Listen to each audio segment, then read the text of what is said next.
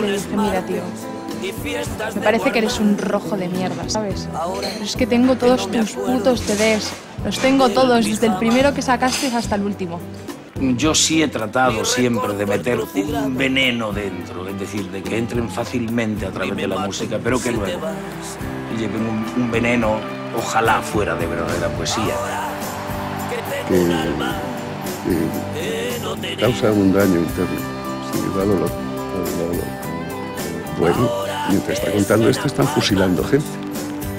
Mientras se la fusilan, claro, ¿qué iba a hacer la gente? Ahora que nada es sagrado, ni sobre mojado llueve todavía. Porque el único tiempo mejor es el único que hay, que es el ya, el ahora, el presente.